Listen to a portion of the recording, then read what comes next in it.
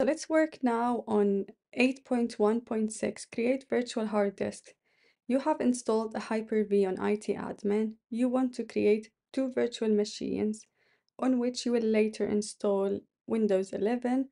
These new VMs will be used for testing. Alright, so you've been asked to install two virtual machines. Later on, you're going to install uh, Windows 11 and they're going to be used for testing. So in this lab, your task is to create a new virtual machine, name it VM1. Okay, so let's start by opening Hyper-V. Double click on Hyper-V Manager. That's where we're going to create the virtual machine. As you can see here, if you make this bigger, and then you double click on IT admin, there you go, you've got all the virtual machines that coexist over here. To create a new one, click on New, then click on Virtual Machine, double click on it, then from here, you can start adding the parameters. So it says virtual machine name, it's VM1, capital VM1.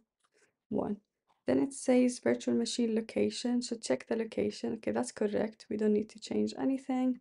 Move to next, then it says highlight generation 1, which is highlighted. Next, then add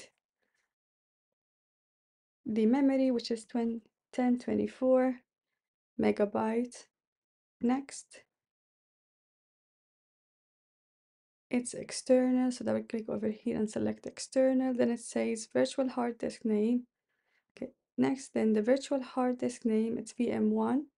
That is correct. There's nothing to change. Check the location. That is also correct. And then we have to change the size to 50 gigabytes. Okay, so this is done. Then it says operating system will be installed later. So install the operating system later. That is highlighted. Click finish. Alright, so now you can see that your virtual machine is over here.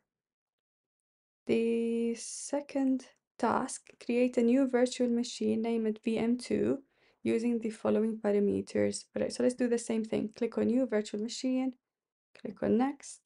The name, it's VM2. The location, it's the right location. Click on next. Generation 1. Next.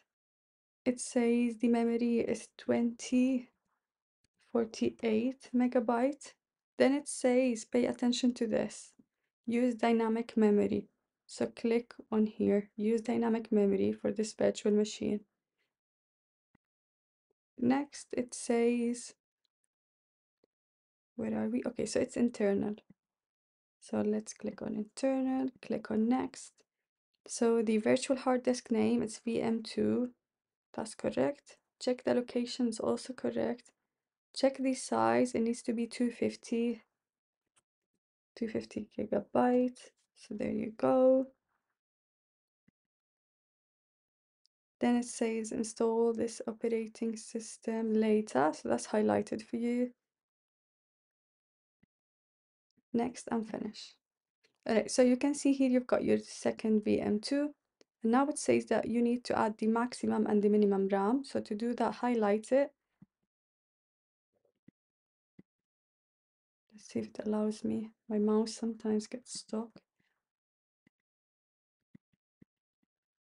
Okay, now, so left click on your mouse, go to settings, click on memory, and then change the minimum to 512 and then the maximum to 496. So 512, 496, yeah, that's correct. Click OK. And I think we're done with this. So in here, you've got a line that just say tells you again how to create a virtual machine. So obviously you open Hyper-V Manager, you go to IT admin, then you click on new. So it's just um, a bit of a revision. Okay, now let's score the lab. And it's 100.